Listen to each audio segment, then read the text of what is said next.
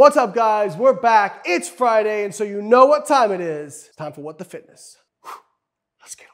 This week we have a video from Build a Body UK. I've had interaction with this gal before. This is not going to go well. I know it. Her uh, moniker is Fat Doctor UK, and um, I'm sure I will get accused of fat shaming and racism in this video for uh, giving scientific references. But let's see what she has to say about obesity. I'm fat because I drink too much red wine and I don't exercise enough. That's not true. You're not fat because of what you eat and how much exercise you do. That is the line that everybody is led to believe. Left you now and ran up and down Leicester Square for three hours and then went home and had a piece of lettuce and then came in and did the same tomorrow and the day after that and the day after that. I would start to look like a supermodel. Only for a few months, and then you would stop. In fact, you would start regaining weight within the first year. That is a fact.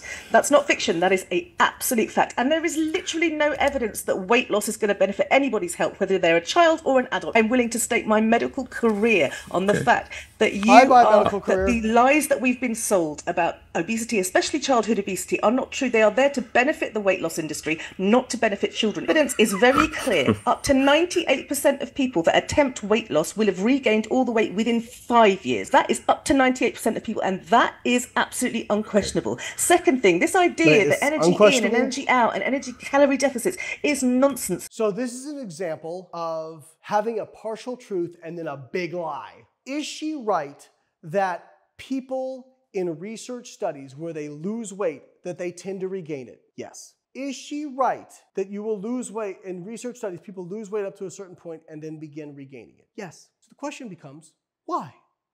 Well, her supposition is that they're still hardcore sticking to the diet and the weight is just coming back on. So, first off, you can't create matter out of nothing.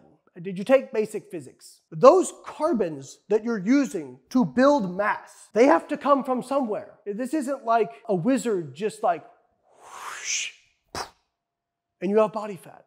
No, you have to create the carbons from somewhere. So where do they come from? From eating. So why do people regain the weight? Because they stop adhering to the diet. If she actually read these studies rather than just parroting the top line, if she actually read them and looked at the adherence data, she would see that these people's regain in body weight correlates exactly to the drop in adherence. They just stop following the diet. How many of you have done diets and just you were sticking to like be honest with yourself because some of you will comment be like I was doing the diet. No, you weren't. How many of you were actually doing it and then started regaining the weight?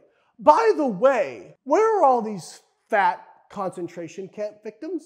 Oh wait, they don't fucking exist because when you eat less than you expend, you lose weight. And this idea that oh, losing weight is not beneficial to health if you are normal weight or lean, losing weight probably not beneficial to health and may actually be a negative. If you are obese and you lose weight, we see improvements in your risks for cardiovascular disease, cancer, type 2 diabetes, all markers of metabolic health improve. And even in people, because there's this, well, if you just practice healthy habits, you get all the benefits of them. There's what's called fat but fit, which is uh, people who have normal blood work, but they are obese. And so some people have said, well, if the blood work's normal, then what's the problem? And so there actually was a comparison done of the risk of cardiovascular disease, mortality, and cancer in people who were basically fat but fit versus people who had similar blood markers but were normal weight. And they still saw an increased risk in the obese or the overweight individuals. And what they tend to find is even though their blood markers may not be bad at that time, they progressively get worse versus people who maintain a normal or lean physique, their blood markers don't get worse. So if you're overweight or obese, it can be that you just haven't pushed it enough to start seeing it show up perturbations in your blood yet, but they will come with enough time. And even if they don't, you're still at higher risk of cancer, cardiovascular disease, and mortality than people who are normal weight or lean. This lady has been able to build a platform for herself by essentially targeting desperate people who find it easier to not embrace the personal responsibility aspect of this. And so, unfortunately, if she's right, if she really is right, then there's nothing any of us can do about obesity. Nothing can be done. I wonder what she would say to people like David Goggins or people who have lost really large amounts of weight and kept it off. How does she explain them? Because yes, most people fail, but not everybody.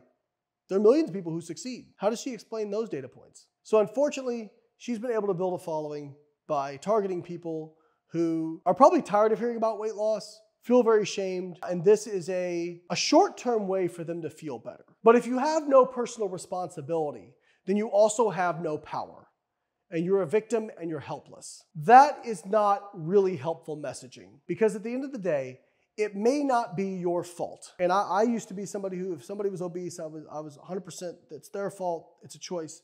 I no longer believe that. In fact, I believe a lot of the reasons people become obese or overeat are not even conscious decisions. It may not have been your fault, but it is your responsibility if you want to change. And I think that messaging gets lost. I'm sure if she sees this video, she will uh, accuse me of all sorts of nasty different things, which she's done before.